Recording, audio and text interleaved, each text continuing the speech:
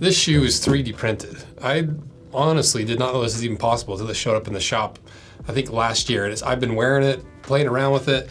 And so finally I decided to cut it in half today to really see what 3D shoes are about, what's on the inside, how do they structure them, what are some of the pros and cons as we start looking at this new emerging industry in the footwear industry of 3D printing shoes because there's a lot of possibilities this could open up that could completely change the footwear world. Our 25% off least favorite child Father's Day sale is live for all you guys that may have forgotten to get your dad something for Father's Day. You can still get him a nice handmade leather good made by us here at the shop. And we're not gonna get it to you in time for Father's Day because you forgot to order your Father's Day gift. We forgot to do the sale before Father's Day year after year, but that allows you to get 25% off. And the beauty of it is we're gonna send you a little apology letter to uh, apologize to your dad for not you forgetting that you forgot to get him something for Father's Day, but the fact that these are handmade, it takes a while to make. And I thought they'd be here by Father's Day so sorry, Dad. And I also got 25% off, and I forgot to get it until like day before Father's Day, but he doesn't need to know that. And all of our stuff's 25% off, so check it out below. Give him a nice Clayton wallet, the biggest dad wallet with a nice veg tan leather,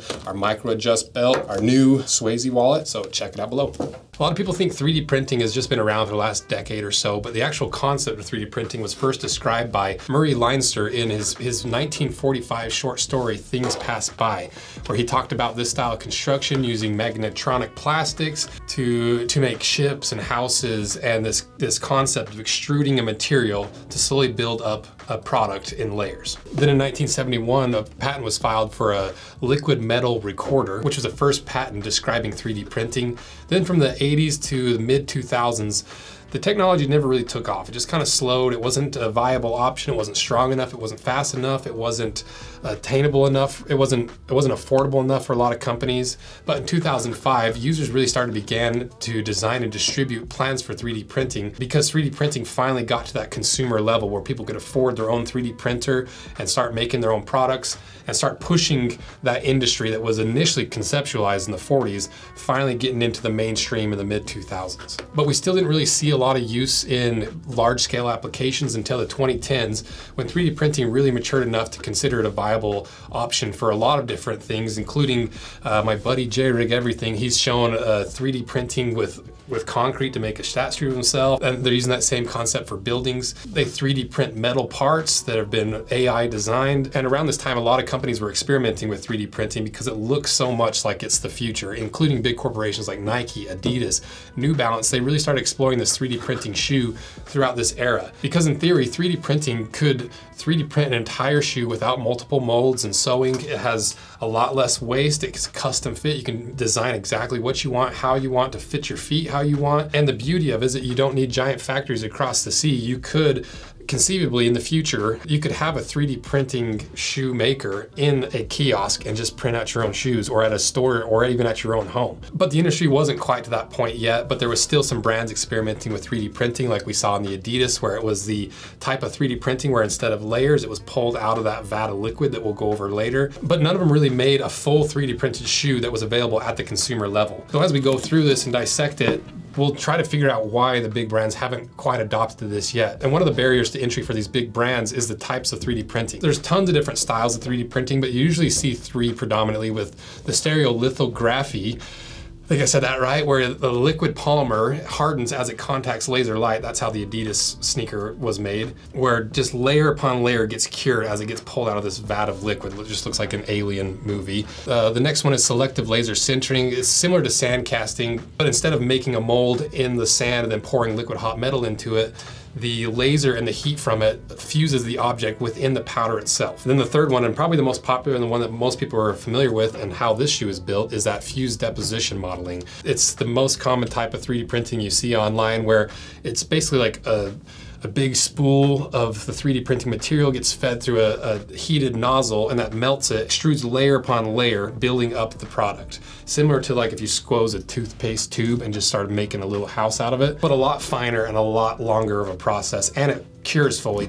to where it was liquid hot material to where now it's a soft, squishy, solidified material. So now you know the general gist of 3D printing and some of the history. What is this shoe? Well, the brand is from Zellerfeld. The style is the Magma by Jaren Dorman. They weigh one pound and they are a steep price of 250 bucks and they're made in Germany. And the way it's positioned is Get footwear that's 3D printed for your feet, fully recyclable and factory free. Automated printing replaces overseas factories and labor. All footwear is printed to order, so there's no excess waste. Old pairs can be returned and fully recycled into new ones.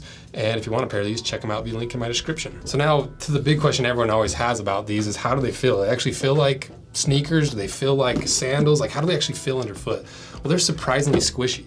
They're really spongy, they're really soft and squishy underfoot, they're super comfortable. And really the only thing comfort-wise that's kind of obnoxious is a little bit grippy on your socks. It grabs dirt and grime dirt gets stuck in all the pores and it makes makes them really dirty really quick. So they're comfortable enough to be an actual shoe. But some of the flaws inherent to 3D printing a shoe make it a less of a viable option for an everyday shoe, but it's surprisingly comfortable. They're also really breathable. We did the breathability test on it and it passed with flying colors because of all the innumerable holes throughout the whole construction. They're also really, really flexible. You know, there's it's surprisingly rigid in the sole but through a lot of the upper, these thinner parts, it's super, super flexible and it stretches. You can see how those little lattice structures all throughout it don't just snap and break, they're flexible. And because of the squish, we wanted to run the ball drop and bar drop test on it. The ball drop test was number eight overall, bounced up 18 inches. The bar drop test was number two overall. It bounced up nine inches. So clearly very comfortable, responsive, uh, squishy underneath your foot. So all the all the underfoot attributes are pointing to this being a really viable option for the future if it can be done right. But what about the durability? That's where, for me, before I started wearing this and looking at this, it was my number one concern.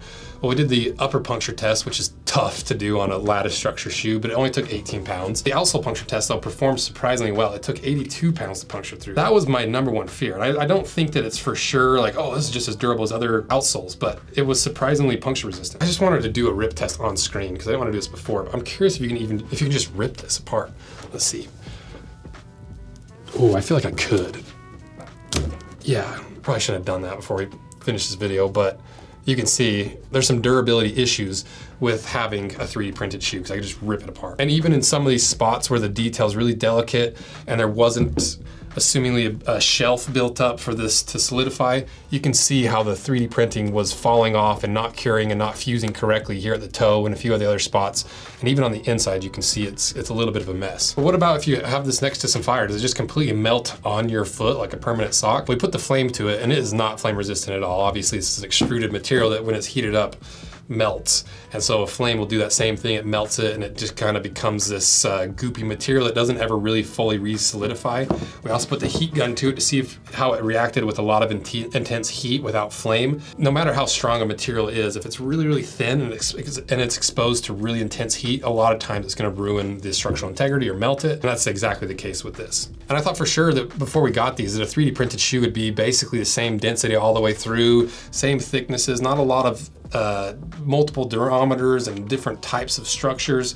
But you can see even before we cut it in half, just from when I ripped it in half, that that cross section is crazy. There's like, it's a perfect square lattice structure all the way through, which makes sense because if you look at it from the side, it looks like there's all these organic lines coming through and sweeping across. But if you look straight down at it like this, it's literally just square cavities all the way through. And what you're seeing here is the cross section of those long cavities. And you can really see that by looking at the cross section of the heel here. So these are basically just modern like clogs or like those old, yeah, clogs, like the wooden clogs that we've cut apart, where you're taking a piece of wood and there's wood grain running throughout the whole thing. But as you're carving it out, you're exposing some of the wood grain and all the different variation. And there's always gonna be a, a, uh, a direction to the material. Uh, that seems like that's exactly how these are built which is crazy to me because it's it's just a cool concept of like the some of the very first types of shoes that weren't leather, these wooden clogs. You can compare them to the most modern and cutting edge style of construction for footwear and 3D printing,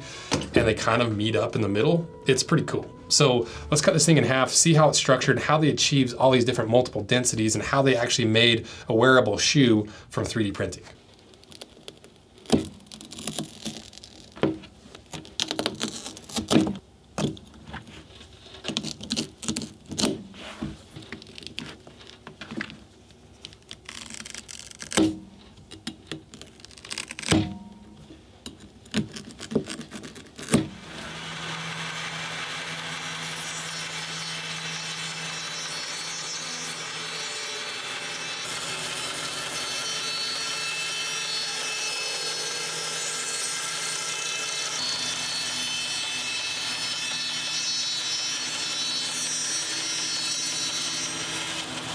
All right, we got it cut in half, and this is just our first look into this. If this is interesting to you guys, and this video does well, I wanna dig a lot deeper into the 3D printed world for footwear, because it really does seem like it's the cutting edge, it's the next thing. So if you like this video, like it, subscribe to the channel, support this however you can, because I really wanna dig deep into this industry and do a little mini series on it. So let's see what's inside.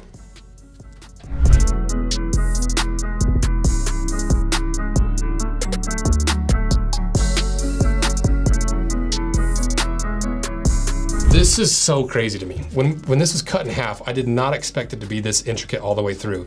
Because you can see that, that lattice structure, that perfectly square lattice structure through the upper. But the interesting thing is this this uh, insole almost. It's like it's like an integrated 3D printed insole because you can see it's a lot finer fiber or lattice structure. The actual filament or the material is extruded really really finely, and and so it creates this layer of really soft squish right underneath your foot that then is backed up by a really heavy layer of a of thick extruded material to give it some rigidity, so you don't just squish all the way to the ground. And so it really is like an integrated insole. And then underneath you have a basically a 3D printed structured outsole because you've got these columns supporting all the squish underneath. Because if this was just solid 3D printed material all the way through, it'd be super heavy, it'd be really hard underfoot, you wouldn't have any squish. But because they've built in all these columns and all these voids that are structured by that heavier extruded material, you get a really complex squish. And then you also have these solid ridges that support and where all those tear spots would likely be if it wasn't a solid piece of extruded material or a tighter extrusion. I don't even know if that terminology is right. You 3D printing people are gonna be upset at everything that I've said, but I'm learning. First video. But one thing that surprised me is they didn't do that harder, thicker material extrusion through the outsole. It's more of that softer, tighter, smaller lattice structure compared to that harder material.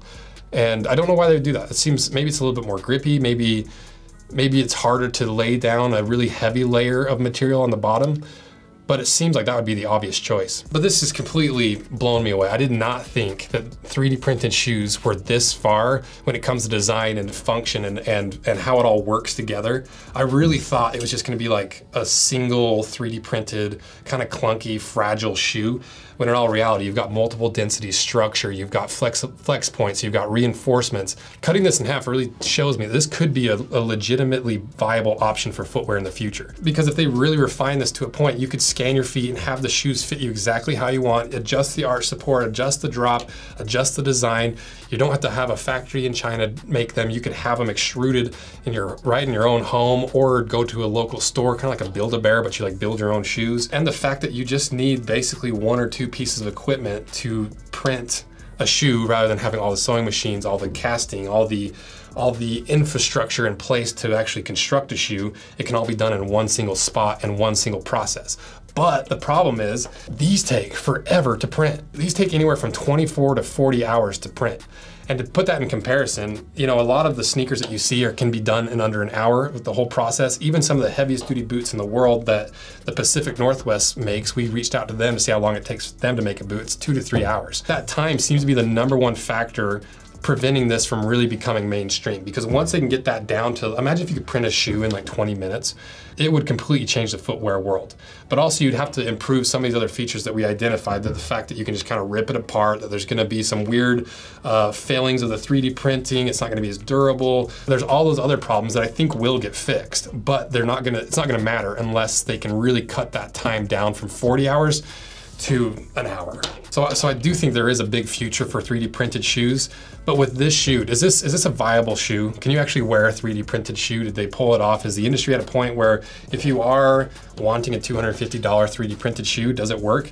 It does, surprisingly. I've, I've, I've worn it around quite a bit like I said, it's not gonna be as durable. There's all these things that we talked about, but this works as a shoe. The technology is already at a point where people are going to Zellerfeld and making shoes, designing shoes and having them 3D printed in an industry where usually in order to design and make your own shoes, you've got to find a way to work with some of these giant corporations, sell tens of thousands of units to be able to design your own shoe, where this, anybody can make a shoe, which is so cool. And it makes me excited to, to dig into this a little bit more. So let me know what other 3D printed shoes you want me to cut apart, what else you you want us to test because the next video we're probably going to go a lot deeper into all the information and a lot more of the science and how it all works to really start figuring out if 3D printing is the future of footwear or if it's just a little bit of a flash in the pan. Is it the laser disc of the inner of the shoe world? That's what I want to figure out. But for now, these are technically shoes and they work, which blew me away. So thank you for everything that you guys do and supporting these videos. If you want to see more of the 3D printing world, just be sure to support this because if this video flops, we probably won't do it. But if it does well, we'll do a full series on it. So thank you guys. See ya.